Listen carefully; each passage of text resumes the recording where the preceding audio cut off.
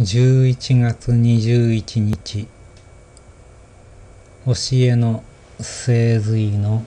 21番ですね。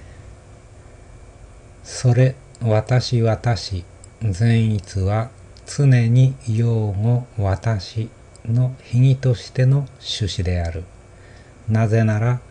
人は私という思いのない睡眠中でさえ非実在、エゴの不在ゆえに実在するからである。目覚めている時には、私は考える、私は言う、私は行動するのように、真悔三号、体、言葉、口ですね。心の活動すべての根底に私があることがわかりますね。ところが睡眠中には心臓が動いて呼吸活動がなされてまた血液やリンパ液の循環も行われていますがそれは私がさせているのではないんですね。生命の自立維持と言ったらいいようなものでして寝ている時にもですね私が心臓を動かしている。私が呼吸をしている。私が血液リンパ液を循環させている。と思っている人は誰もいないわけなんですね。そのようなエゴの不在の睡眠中にも生命は実在しているわけですから真実在セルフが睡眠夢見目覚めそれらの3つの状態の根底にあるということが確知できなくても推測はできるかと思いますね。ここは分かりにくい説明ですので分かりやすくなるように解説してみます。私はこの体であると思っている時は私は自分意識、エゴであって無がセルフではありません。しかし、その私イコール自分意識、エゴも睡眠中は活動を停止してしまいます。エゴが活動を停止しても生命は実在しているということをよく理解しないといけません。私イコール自分意識エゴが停止したからといって何もかもが死滅するわけではなく目が覚めれば元通りになります。では私自分意識エゴが活動していない時に私エゴ心体を維持してくれている力パワーとは何なのでしょうかそれは私ですではなく、それは私、私ですが答えです。私という用語が私、私に転じるとき、つまりエゴがセルフに転じるとき、非実在アサト、現象が没して実在サト、現象現が権限するので、それ、私、私、善逸は、常に用語、私の秘義としての趣旨であるというのです。まあ、ここは日本語ですとちょっと分かりにくいですね。英語で考えると分かりやすいかもしれません。つまり、私を精査探求すると、観念に過ぎない私は解消され、私、私である真実在サト、セルフが各地現状されるということをラマナマハルシは言っているのです。ということですが、こういうことを 頭で理論的に理解しようと思うのではなく、思いを手放し、私意識が停止した瞬間をも覚知する、そしてそれを持続するというような実践、実習によってラマのマハラシが説明していることを覚知するという体験をしないといけないんですね。私は私の重要語。なぜなら熟眠の最中。私の思いが消えてさえ、存在は続く私声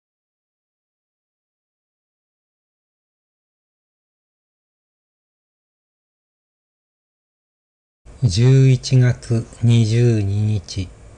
教えの聖髄30節の22番です。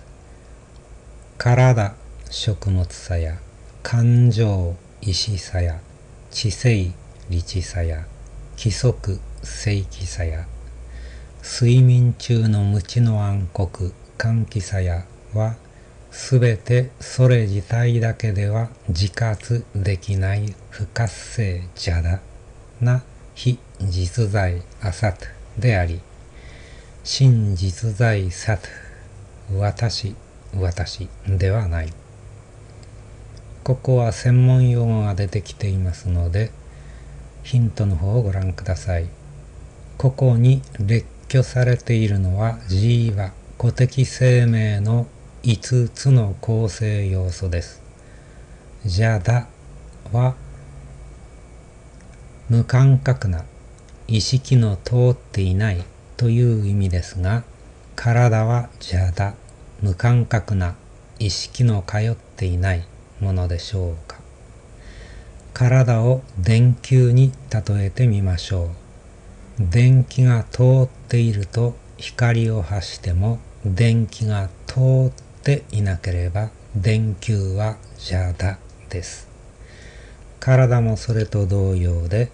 生命電流が通っていてこそ生命として輝きますが生命電流が通ってこなくなると死体邪だ無感覚な意識の通っていない物体でしかなくなります。5つの構成要素はいずれもセルフから生命電流を受けているに過ぎずそれ自体として実在できるものではない非実在アサタに過ぎないとラマナマハルシは言っているのです。部分部分を見ると全体として組みこ全体の中に組み込まれている場合には局所的に見ても動いているように見えますがエネルギーの流れを断ってしまうといずれそのエネルギーが蓄積されていた分が消費されると枯渇して死んでしまうんですね。例えばエソという指先や足先が腐敗して、まあ、腐っていって細胞組織が死滅していく病気がありますね。それと一緒でして、ここに出てくる食物さや、石さや、力さや、正気さや、それから換気さや、などという慈意は古的生命存在の部分、部分は発電所のようなセルフからの生命電流がなければ活動できないのですね。しかし人間はその発電所に相当する生命電流の発電所であるセルフを覚知していないので食べて飲んでエネルギーを補給すれば自分は動くんだとその自分エゴが勘違いをしているんですね。瞑想が深まって私意識がなくても実在しているということを悟れば、すべてはセルフという生命電流の発電所があればこそ、私たちはこのように電流をもらって活動しているのだと分かってくるわけなんですね。まあ、それも気づきの拡張でして、目を外にばっかし向けていたのでは何が何だかさぱりわからないお話かもしれません。体感覚心規則そして私も鞘ばかり鞘を次々取り去れば命の実在さっと出る。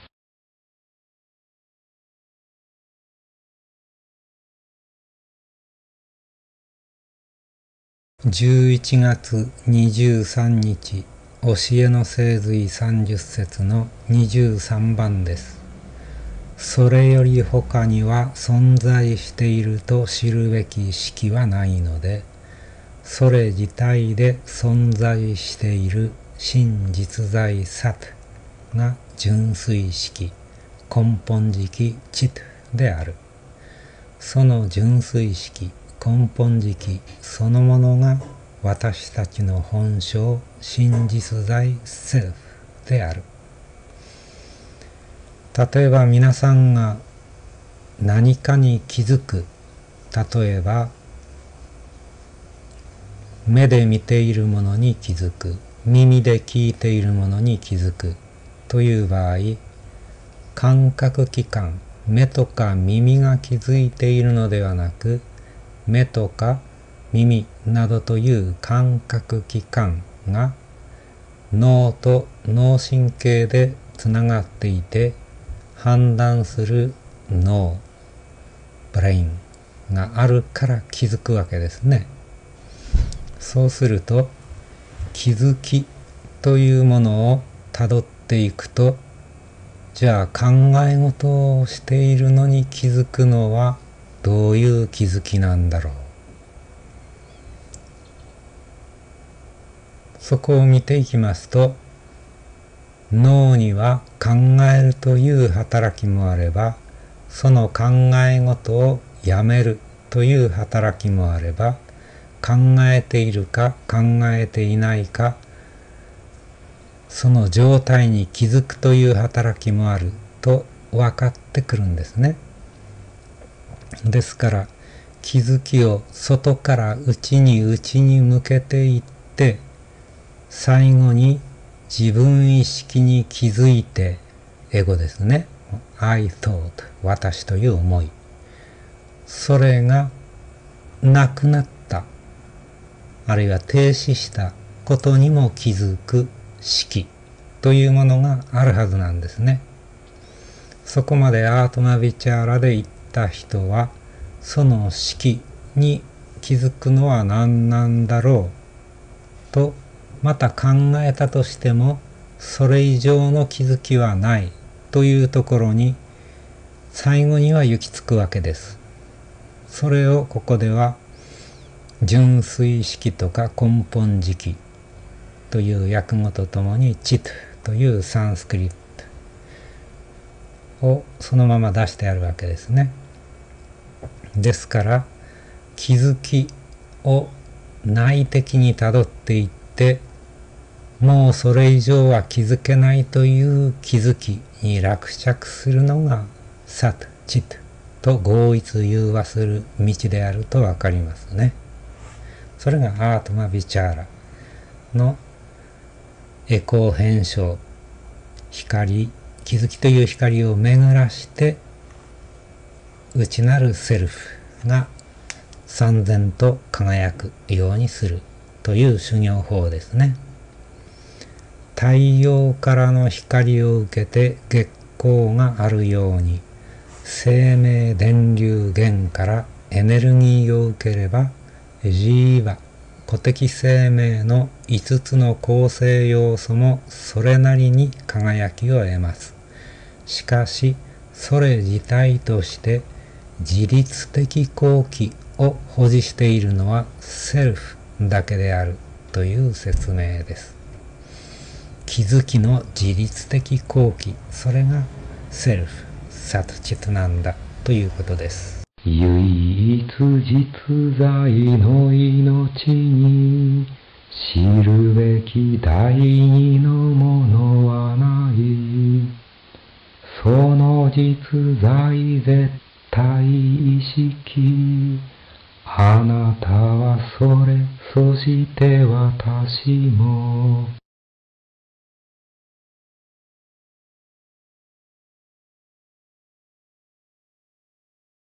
11月24日教えの聖髄の30節のうちの24番になります。真実在殺だけがあるという存在の観点からすれば、神とジーは、古的生命は一つの実体、ワーストであるし、異なるものではない。ジーは古的生命に重ね置きされた分別知識、意識だけが異なるに過ぎない。命は一つ、全一生命、全体でたった一つの生命ということであれば、人間がどのように分別しようとも、すべては一つの命なんですね。何が違うのかと言ったら、分別している意識だけなんですね。ジーバに重ね置きされた分別知識、分別意識。ですから、私たちジーバ、エゴを持っているジーバである古的人間も、分別、分けて考える、一つの命を分けて考える意識を捨てれば、セルフそのものになるということですね。問題は、この分別意識、サンスクリットでリカウバと言われますが、分別意識、thinking なんですね。神、真実在セルフとジーは古的生命が異なるのは、重ね置きされた分別知識のありなしなら、この重ね置きされた分別知識、意識という不可物、属性、仮面を除去すれば、不可物、属性仮面ではない本性素顔、命の素顔になるということです。属性仮面と本性素顔を隔てているのが仕切りやエゴ。私がというエゴ、自分意識なのだということで、その仕切り、自分意識を解消すれば、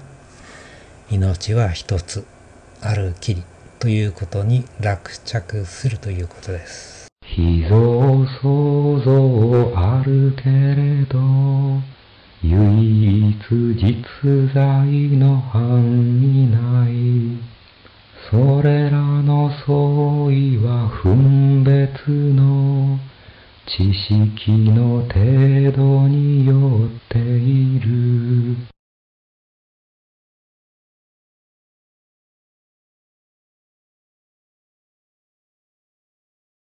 11月25日教えの聖髄30節の25番です。自分の不可物ウパーディを捨て去ったのを知る自覚することが神真実在セルフの各地現状である。彼は属性仮面のない真実在私はあるという命の素顔としてだけ輝くからである。セルフの上乗せとしては自分意識、エゴですね。それから私が考えるというその考え事、私が感じるという感受作用と感情、そしてこれは私の体、と思っている肉体とありますが根源的なのは肉体を私のものと主張する私意識ですし私が感じると感じるを主張するあるいは支えている私意識ですし考えにしても私が考える I think の I が問題なわけでして根源的な不可物というのはウパーディというのは自分意識なんですね。ですからややこしいこと考えないで自分意識にターゲットを絞って自分意識を何とかしようと思うのが修行だと思えばいいんですね。それには考え事が出てきたたんびに手放すというふうにして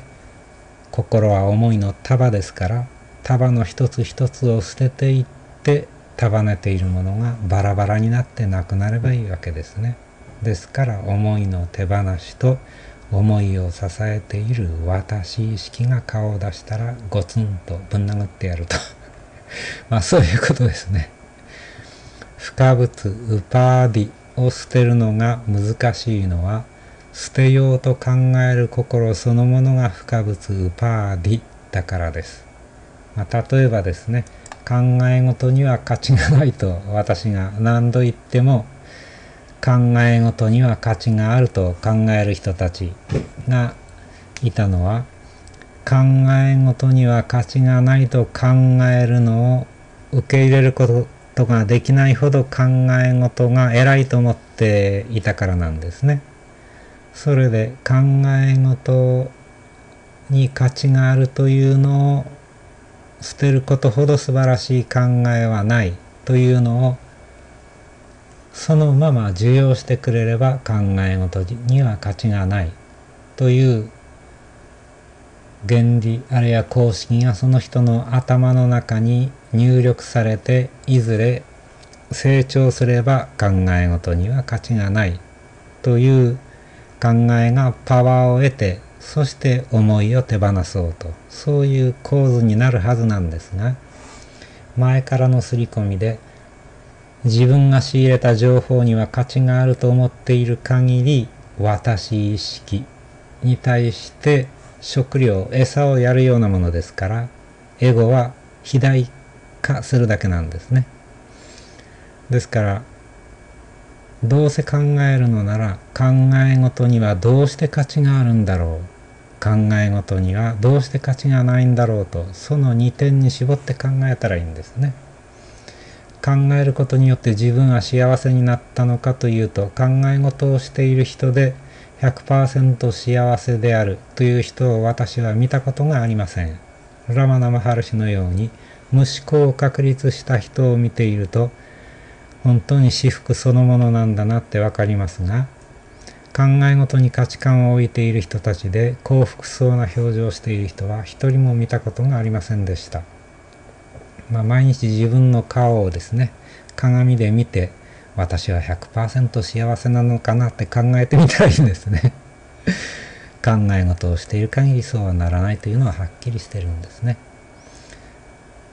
先ほどの続きで例えば官僚体制の改革案を官僚に委ねれば官僚たちは保身のため改革を望まない代替案を作成提出するようなものです。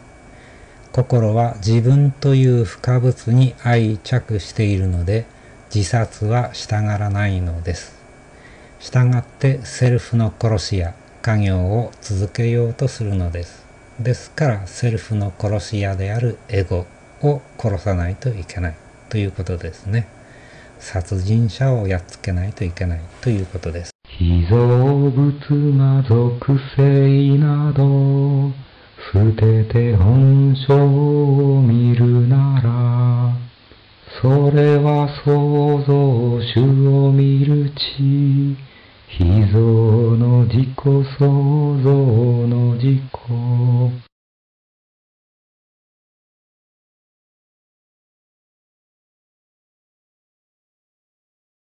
11月26日教えの聖髄30節の26番です。セルフであることがセルフを覚知していることである。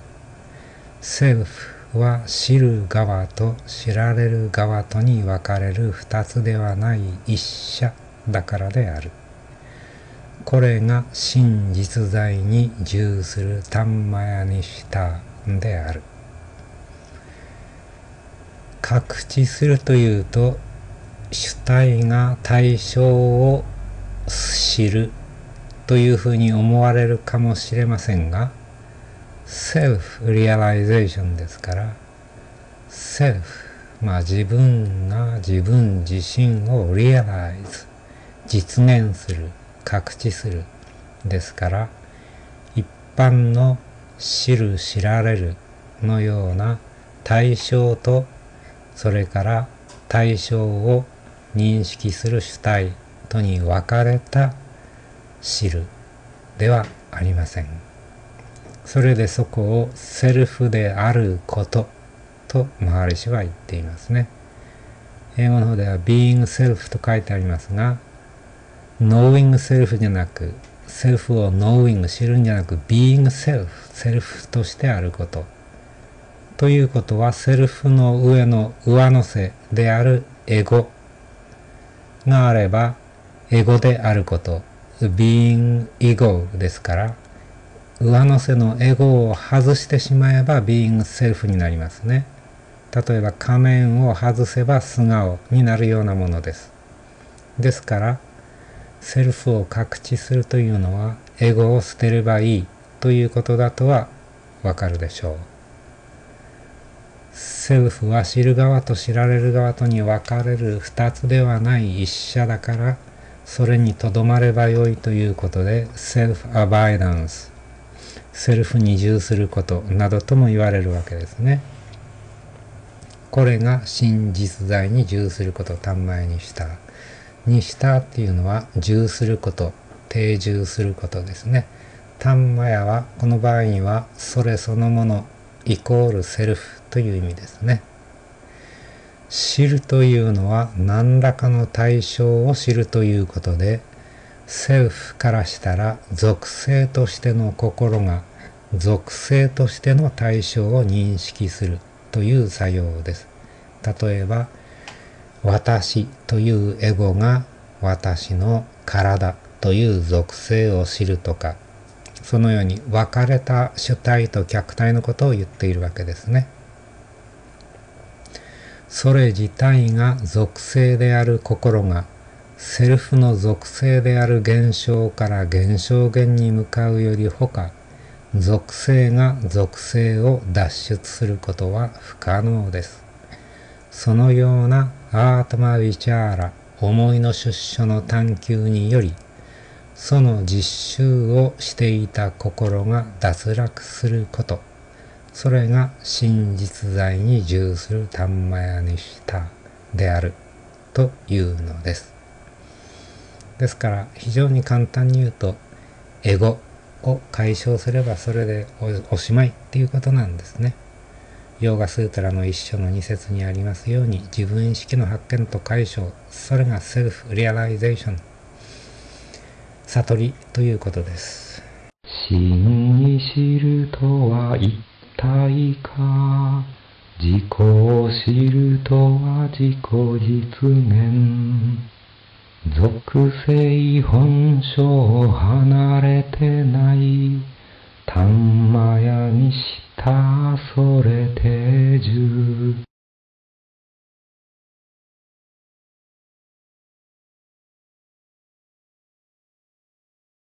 11月27日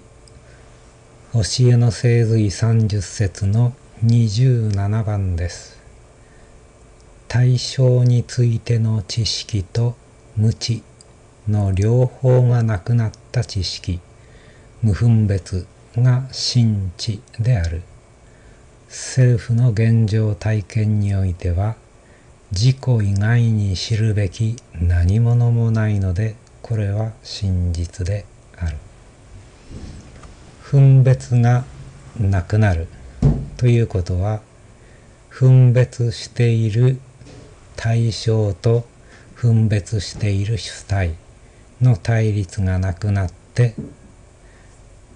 分別していた主体意識としてのエゴが解消されるということですね。そうすると何もなくなるのではないかと考えるのはそれはまた別の分別でしてそういう分別もなくならないと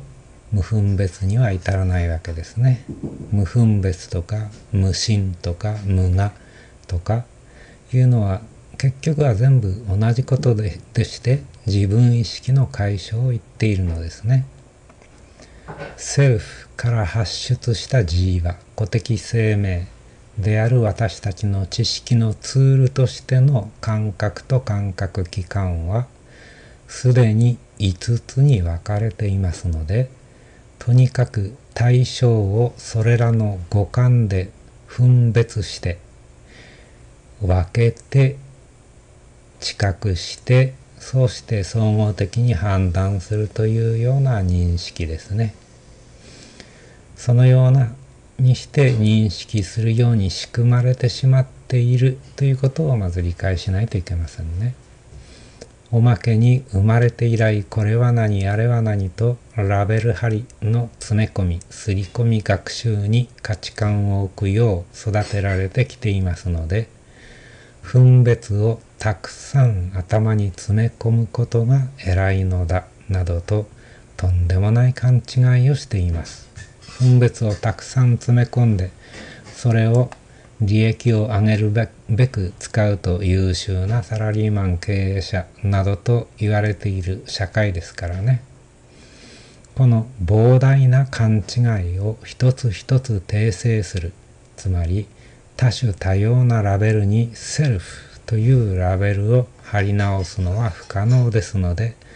全ての知識は分別というとんでもない勘違いだったのだと諦めて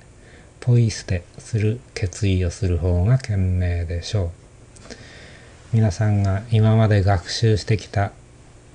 知識を一つ一つ思い出してですね、それにそ全てはセルフと共にしかなかったのだというような作業をするとしたら、まあ余生何十年かでは足りないと思いますんでね。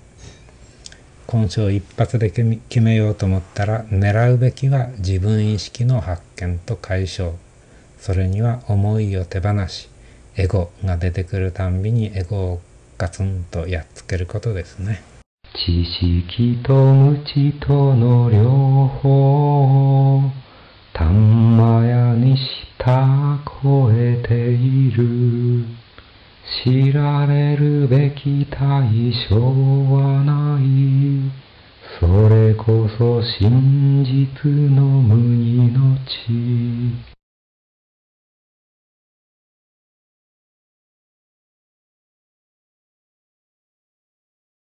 11月28日教えの聖髄30節の28番です。人が自分の本性を覚知するとき、すべての属性が捨て去られて、残り輝くのは無視、無臭、不滅の真実在意識私服のみである。自己の本性を覚知するためには、すべての属性が捨て去られる必要があるわけですね。属性は私という思い、私の考え、私の感情、私の肉体、そしてまたその肉体に所属させているものなどなど全てですね。それら一切合切を捨てるということは例えば自分の肉体を殺すとか着ている衣服を捨てるとか住んでいる家を燃やすとか そういうことではありません。所有意識私有意識。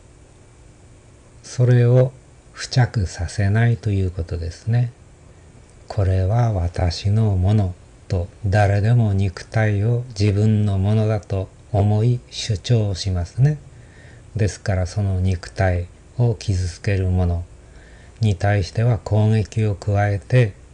自分の肉体を守るというような仕切りに基づいた行動をするわけです。ラマナマハルシたちのように私を主張しない人はどのように行動するのかというのをよく調べてみるといいと思いますね。幸いラマナマハルシは私たちの時代に非常に近い聖者でしたからビデオを見ることもできますし語録もあれこれと残されていますのでどのような生涯を送ったのかはかなり詳細にわかるんですね。イエス・キリストやゴータマ・ブッダなどになりますと伝説的存在の要素が強いですからラマナ・マハルシみたいに1950年に亡くなられた大政権の障害のようには詳細に調べることができないですね。自分意識を自分の心、体、そして周りのものに主張しないというのはどういうことかというのはラマノマハルシの生涯を調べてみれば明らかになると思います。そうして全ての属性が捨て去られた時のセルフをですね、無視、アナーディ、無臭、アナンタ、不滅、アカンダ、真実在サト、四季チト、至福アーナンダと表現しているわけですね。真実在セルフの各地現状を果たしていない凡人にあるのは、すべては属性ばかりの現象で、それには始めも終わりもあり、形あるものいつか壊れる世界です。広い土地を持って立派な家を持ってそこに住んでいようが形あるものである肉体は何十年かでなくなるんですね。そんな儚い世界なんですね現象というのはね。私服からどうして喜怒哀楽が生まれてくるのかを詮索しても仕方がないことで喜怒哀楽を味わうたびに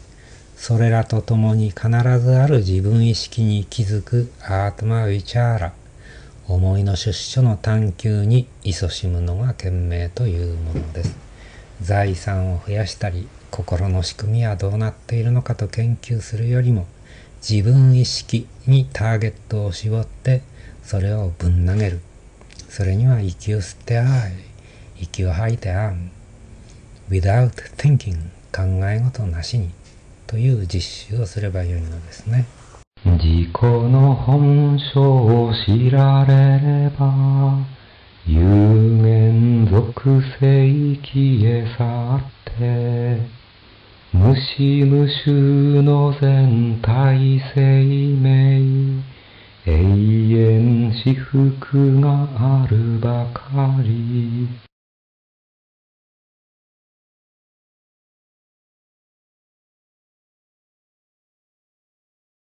11月29日教えの聖髄30節の29番です。セルフに安住し、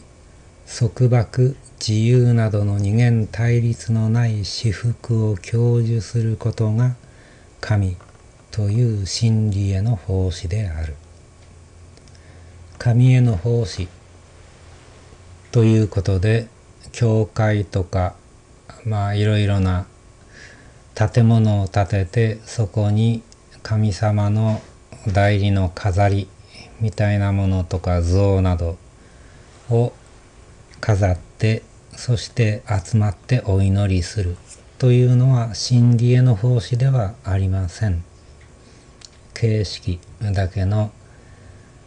集まるのが好きな人たちの趣味道楽ですね。真の神への奉仕真理への奉仕というのは自分意識の解消だけです。二元多元世界に存在しているという意識がある限り奉仕の対象と奉仕する自分に分かれてしまいますが奉仕する側の自分意識が消滅したらどのようにして奉仕が可能でしょう。奉仕すべき自分意識を解消するのが真の奉仕、真実在セルフの各地現状であるとラマナ・マハルシは言っているのです。イエス・キリストも祈るのは心の奥底においてであるということで心の奥底というのはエゴが解消することを願い祈りそれに努めるということですね。ゴータマ・ブッダも悟りを説明して自分がほどけることだとしてアーナーパーナサティ息に気づきながら自分の体をほどき気づき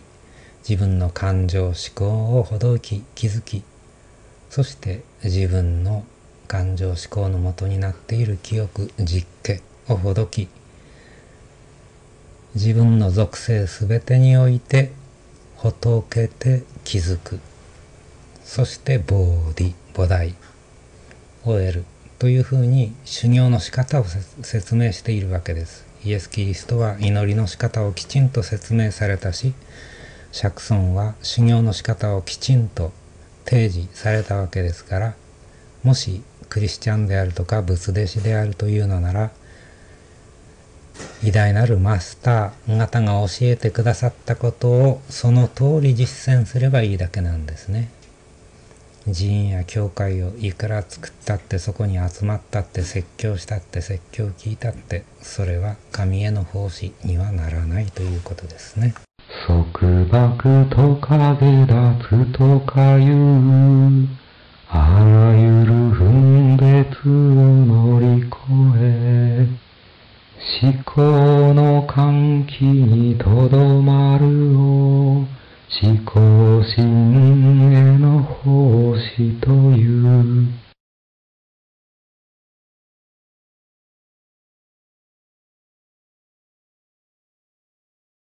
11月30日教えの聖髄30節の30番です。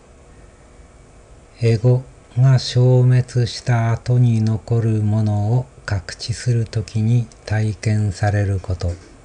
それこそが最小のタパスである。 Self である主ラマナはかく述べたと。タパスは普通苦行と訳されますし、ヨーガバーシティでは熱誠な修行と訳していますが、タパスに限らずアビヤーサ修行、熱誠な修行、実践でも何をどう修行するのかが問題ですね。究極の修行というのは自分意識の解消に関わることだけですから、それ以前のアーサナをやるとかプラナーヤマをやるとかそれらは最小のタパスではないんですねそしてまた自分意識が脱落してそこから外れないというのが最小の永遠のタパスですねアラマナマハルシは別に苦しんでいたわけではありませんが永遠のタパスである自分意識の解消新人脱落脱落新人を一瞬の外れもなく一歩あるいは一死わずかの外れもなく完璧に成し遂げたんですね。